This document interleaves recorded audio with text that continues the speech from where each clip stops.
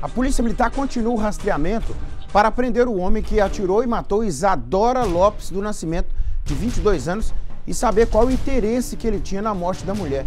Foi o sétimo assassinato na cidade de Timóteo só este ano e o segundo em menos de 48 horas. A reportagem está aqui, pode balançar.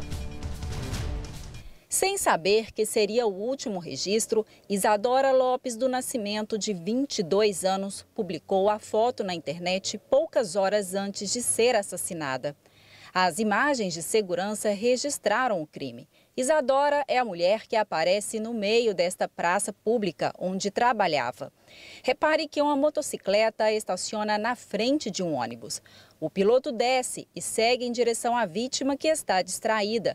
A imagem não mostra, mas, de acordo com testemunhas, o criminoso efetua vários disparos contra Isadora e depois foge.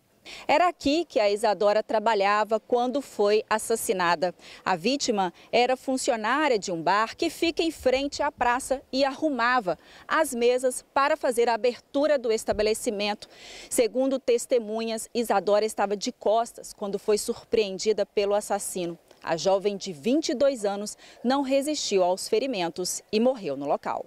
Este homem, que preferiu não mostrar o rosto, conta que havia acabado de estacionar um veículo quando viu um homem correr com a arma de fogo na cintura, mas que não conseguiu ver quem era. Na minha cabeça eu achei que estava ele que estava sendo a vítima no momento e não era.